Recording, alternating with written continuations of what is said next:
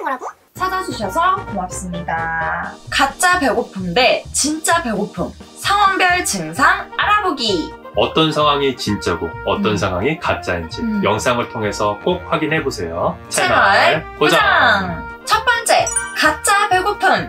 첫 번째 증상.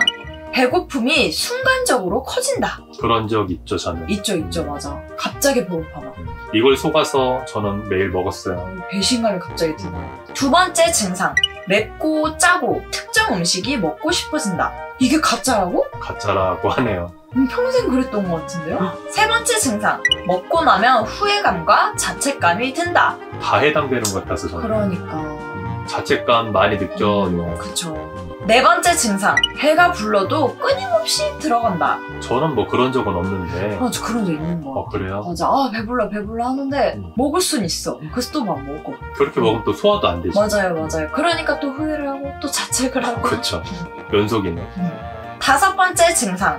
음식을 먹어도 공허함이 남는다. 배불리 먹었는데 식욕을 채웠는데도 공허하다고 하면은 맞아. 배가, 배는 부른데 뭔가 또 허해. 그 약간 마음이 허해, 허해서 그런 건가요? 어. 여섯 번째 증상. 스트레스를 받을 때 배고픔이 더 심해진다. 음, 음, 이게 이거 가짜 느껴봤어. 배고픔이구나. 어, 그래서 먹는 걸로 스트레스를 푸는 거지. 후회되고 자책감 들고 공허함도 공허함이 들고 들고. 안 좋다. 네, 악순환이네. 음.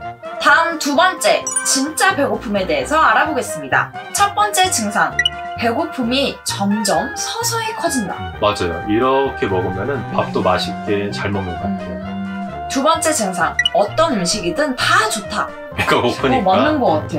풀만 먹어도 맛있어. 어, 그러네. 가짜 배고프면 딱, 어, 나 떡볶이 먹고 싶어. 이러는데. 진짜 배고플 때. 진짜, 아, 나 다 씹어 먹을 수 있어. 이래서.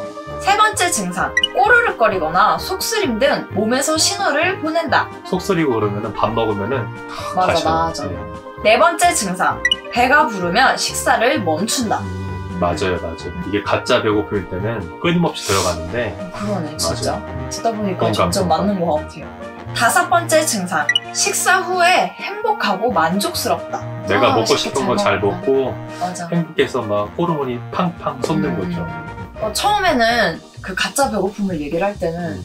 이게 왜 가짜 배고픔이지? 왜지? 왜지? 했는데 이 진짜 배고픔을 읽다 보니까 음, 아, 맞는 것 같죠. 어, 아, 다이어트 하시는 분들은 이 진짜와 가짜를 잘 구분해야 될 것 같아요. 그러게요. 지금까지 가짜 배고픔, 진짜 배고픔에 대해서 알아봤는데 다음 시간에도 여러분들께 도움이 될 수 있는 정보들을 가지고 찾아오겠습니다. 더 많은 정보 영상을 계속 보고 싶다면 구독, 좋아요, 알람 꼭 잊지 마세요. 지금까지 시청해주셔서. 고맙습니다.